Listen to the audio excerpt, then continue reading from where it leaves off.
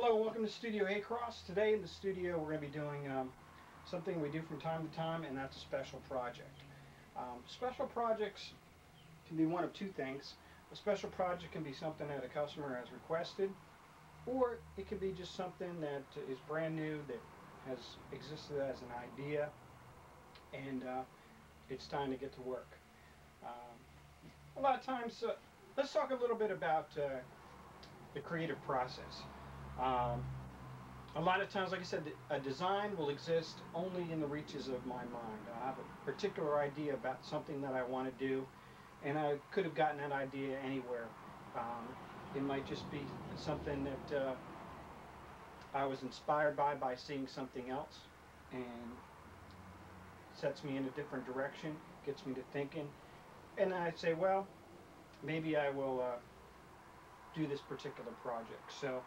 Uh, today we're working on a special project which is this little church. I've already uh, done the church in this uh, model. Now I don't usually make uh, prototype models like this uh, when I have a particular idea but in this case I have a customer that uh, doesn't know me really, hasn't worked with me before and I had to give an idea and let them know basically what I had in mind. So this is the model that I came up with uh, so that I could send that on to my customer and that's what I came up with. So what this allows me to do is have a little clearer uh, understanding about what the finished product is going to look like and give me a little bit more guidance because it won't be this size, it'll be a little bit bigger and then I can do some um, scale it up a little bit and work from there. So that's what we'll be working on today. It did come uh, when I get special orders. Uh, this is a basically a request came into one of the stores that I'm in and uh, very limited information to begin with. Uh, just a, uh, a, little drawing of the church, uh, which is a very complex building. If I was to build a scale model, say, or, or architectural model of it. It's got a lot of uh, different components and would be quite difficult to do. But in this case, what we're doing is a, artist representation because this will be a keepsake uh, for the pastor of that church. So customer contacted me, left some information, and we go from there. Um, we then got a picture of the church. Uh, again, not a lot of information the main element of the church, of course, is its steeple. Uh, quite quite an interesting uh, piece of architecture there. So we want to basically capture that because that's the main focus of the church. So we get the steeple on there, and then we need a little representation of the building itself. And what this is going to be when it's finished, it's going to be a little box to put uh, gift cards in, uh, well wishes and so forth, and then this will be given to the pastor. So what we've got in mind, uh, First of all, we want to tackle the steeple. And what we're going to be using for the steeple is a small piece of wood. Uh, actually, you know, a narrow, little narrow piece of wood. Uh, and this is, we're going to actually use this width and, and cut it to this shape. Um, and then do some work on it to, to get it into this um, angle configuration. So uh, basically we want to, the finished product, when we scale it up, is going to be about a 7 inch wide and about 11 inch tall uh, base on it. So let's measure that out.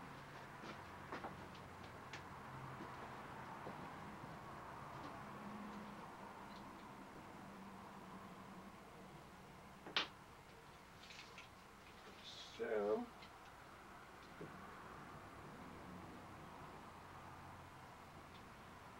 the actual building is going to be about 11 inches. So we'll do, we'll start off, say, with about 14 for now on this bottom portion. And we'll mark that off on our tape. 14 and then 28 for the opposite side. So we'll have two 14 inch pieces. And then we'll cut the angles and go from there. It will require a little bit of uh, some different uh, work, mechanical work. We'll have to uh, use the router. So we'll start with that. And we'll get these cut. For that, we'll go to the uh, to the saw.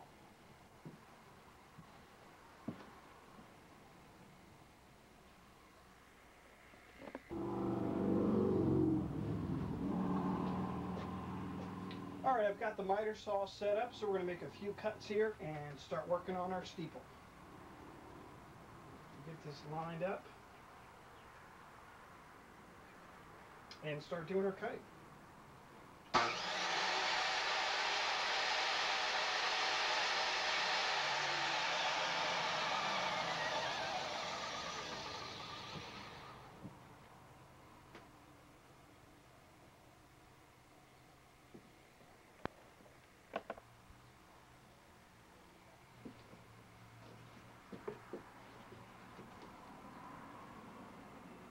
Get this lined up.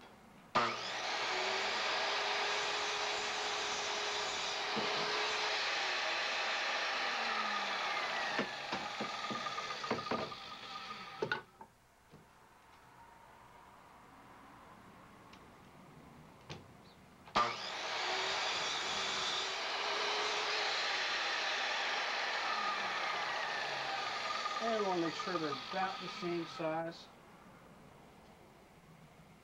Get them as close as possible. And we cut them a little bit longer so we're all right.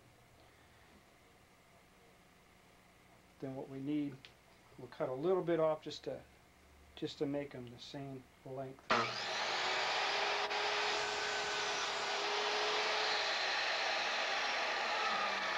that should even them up fairly well. So that'll be the starting point of our steeple.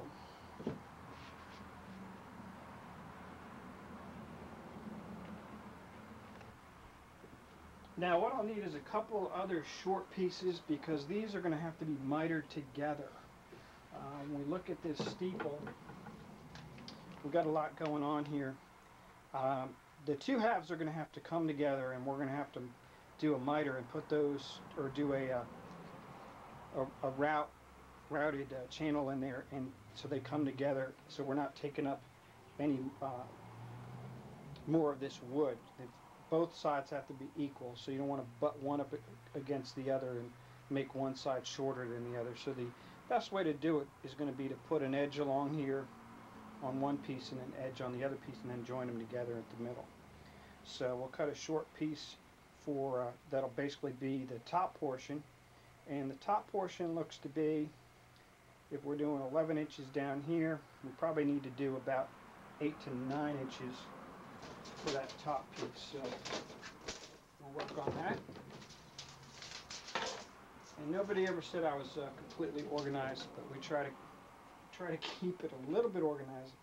Uh, it is it is important to uh, keep things clean so that you don't injure yourself by the messes that you make. But also you can't be too organized. I don't think artists are known a lot of times for uh, being overly organized. Kind of, um, a lot of us exist kind of in uh, creative chaos. But uh, I do like things clean. And I like to keep them fairly organized. But the busier you get, the messier things get sometimes. Let's see. Eight inches should be enough. We got plenty of wood. Actually, you know what I'm going to do? I think I'm going to take this to actually 10 inches on both just so